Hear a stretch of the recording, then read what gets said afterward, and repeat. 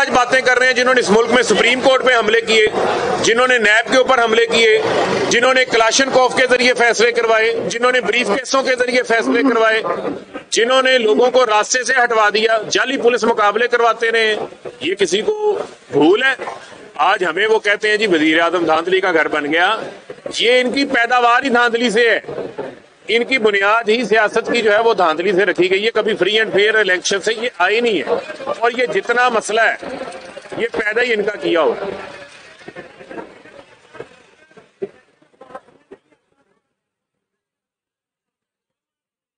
देखें, ये तो पाकिस्तान की आवाम ने फैसला करना है। लेकिन लोग चाहते हैं कि इंतबात साफ़ शफाफ हो। आज आप ये देखें ना, टेक्नोलॉजी का जमाना है। ये आपका मोबाइल फ़ोन जो है ये आपकी ऑनलाइन कारोबार भी है। आपका ऑनलाइन बैंक भी इसके अंदर आ गया है। आपकी नादरा की वेरिफिकेशन शनाख्ती कार्ड का निज़ाम भी डिजिटलाइज हो गया। है लैंड रिकॉर्ड भी डिजिटलाइज हो गया है। लेकिन जब इंतबात में टेक्नोलॉजी इस्तेमाल करने की बात आती है तो उस वक्त कहते हैं जी कि एल्फी डल जाएगी। तो भाई आपकी कोई मोर उठा के ले जाए तो इंतखाबी अमल रुक जाता है। वहाँ पर एक प्रिजाइडिंग ऑफिसर जो है, लाइनें लंबी लगवा दे इलेक्ट्रोल प्रोसेस लेट हो जाता है।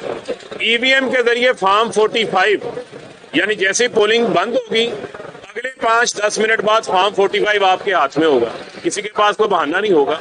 लिहाजा साफ़ और शफाफ इंतबात का मुस्तकबिल जो है, वो इलेक्ट्रॉनिक वोटिंग मशीन है, जिसमें पूरी दुनिया भी काम कर रही है।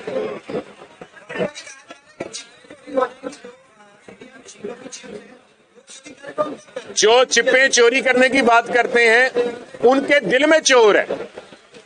वो चाहते हैं कि ठप्पा सिस्टम नाफज रहे इस मुल्क के अंदर। उनको वो ठप्पा सिस्टम जो है, वो सूट करता है।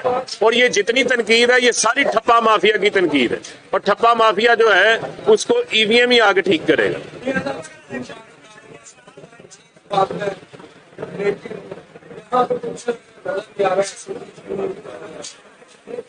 एसओपीज के ऊपर देखें वैक्सीन हम सबको मोटिवेट कर रहे हैं। यहाँ भी वैक्सीन का इंतज़ाम हुआ है। वैक्सीन लोगों को लगाई गई है। और जारी बात है, यहाँ पर आपको पता है कि मंडी है। और मंडी के ऊपर जो है, वो लोगों का कारोबार का सिलसिला है। और इसमें मामला फिर इसी तरीके से चलते हैं।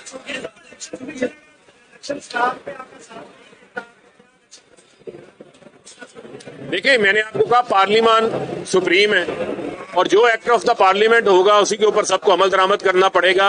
ये भी आइन के अंदर लिखा हुआ है कि इलेक्शन कमीशन ने एक्ट ऑफ़ द पार्लियामेंट के तहत इंतबात करवाने। बहुत शुक्रिया। ये सब करो। Hello airport